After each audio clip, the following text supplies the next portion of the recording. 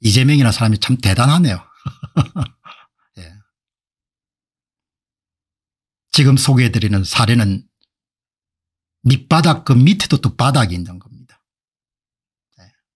조선일보에서 아주 중요한 칼럼을 그래도 쓰는 칼럼니스트 가운데 한 분이 선우정 씨죠. 예.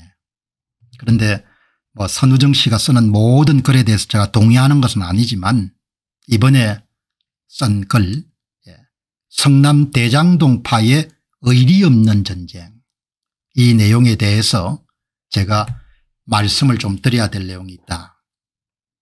이재명 대표는 그의 유동규 발언이 이 폭풍우를 몰고 온 나비 효과라는 것을 이해하지 못할 듯하다. 의리가 없기 때문이다. 일부는 선호정, 선우정 논설위원회 글에 동의를 하고 또 일부는 좀 보조적인 좀 시각이 좀 다른 그런 내용을 말씀을 좀 드리기 때문에 오늘 내, 사, 내용은 사람이 어떻게 살 것인가 이런 문제와 관련해서도 이 혼란스러운 세태해 주는 메시지가 분명합니다. 작년 말 국정감사에서 유동규 씨에 대한 이재명 대표의 주장을 듣고 이래도 괜찮은가 싶었던 때가 있었습니다. 제가 무슨 주군입니까 이재명 이야기입니다. 그가 무슨 핵심 척근이나 하는데 그랬다면 사장을 시켰을 겁니다.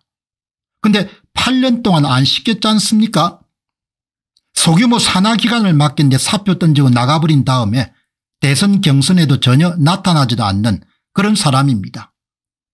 예, 이때는 이재명의 승리가 거의 뭐 자기들끼리는 뭐 확신했겠죠. 뭐. 예, 선거를 만질 수 있는데 뭐 뭘 확신 못했겠습니까?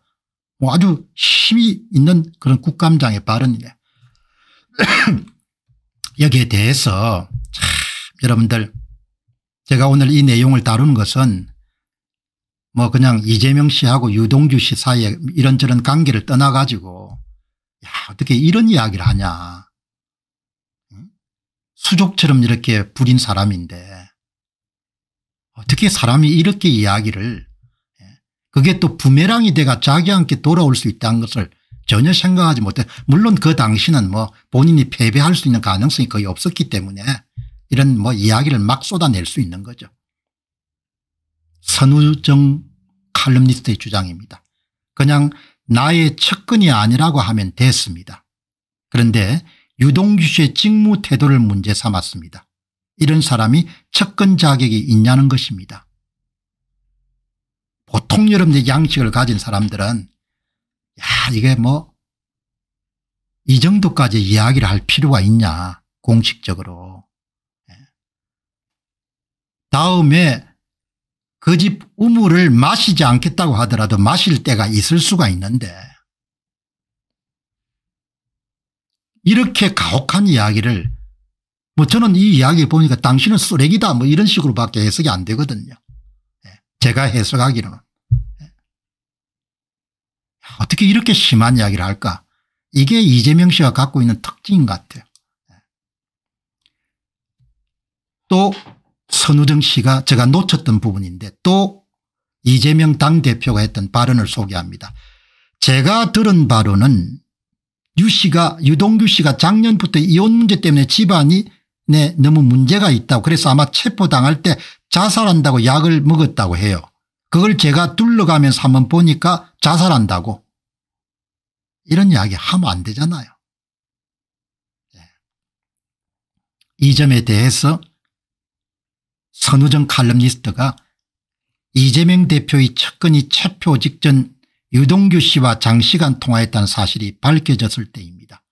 측근이 왜 전화했는지 변명하기 위해서 유동규 씨의 사생활인 이혼과 극단적 행위를 생중계하는 국정감사에서 공개해버린 것입니다.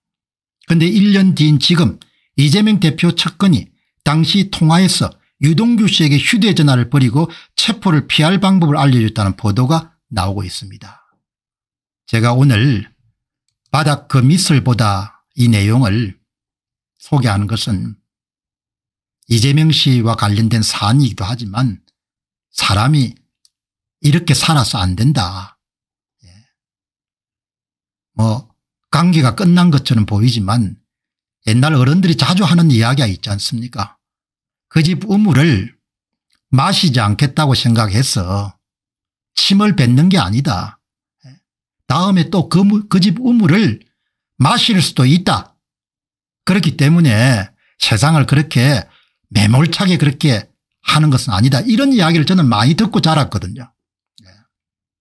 그리고 뭐 꼭 그대로 살아온 것은 아니지만 그래도 예, 여지를 놔두는 겁니다. 예.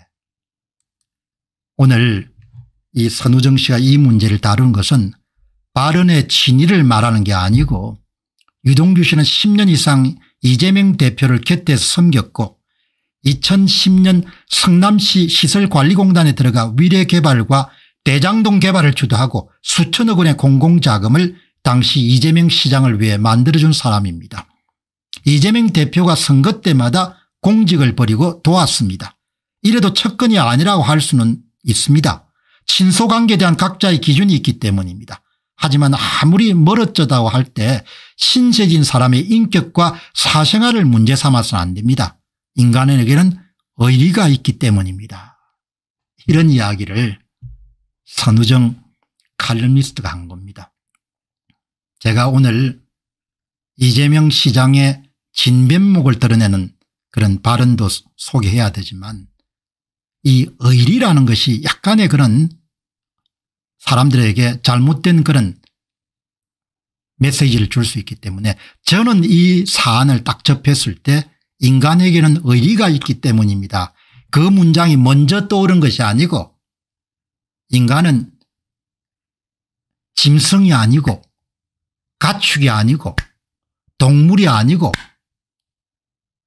인간이기 때문에 인간이 지켜야 될 도리라는 것이 있습니다. 도리가 있기 때문에 그런 이야기를 해서 안 됩니다. 이런 부분이 먼저 떠올랐거든요. 예, 이 보시기 바랍니다. 드라마틱한 이 배신의 시대를 읽으며 인간의 삶에 얼마나 의리가 중요한지에 대해 꽤 공부가 됩니다.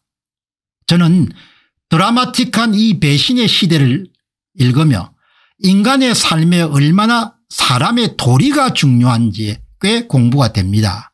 그래서 여러분하고 함께 공유하는 겁니다. 단발성 뉴스도 우리가 봐야 되지만 그 뉴스 속에서 우리가 사람으로서 어떻게 살아야 될 것인가 이런 부분에 대한 부분들도 얻을 수 있으면 책을 읽는 것만큼 효과적일 거 아닙니까 이재명 당대표는 그의 형수가 그렇게 집요하게 자신을 추궁하는 이유를 모를 것이다. 숨질 때까지 그를 괴롭힌 그리고 그가 괴롭힌 형에 대해서 이재선 씨죠. 정신 이상이라고만 생각할 뿐 그 이상 받아들일 생각이 없을 것이다. 그를 비판하는 여배우의 행동도 납득하지 못할 것이다.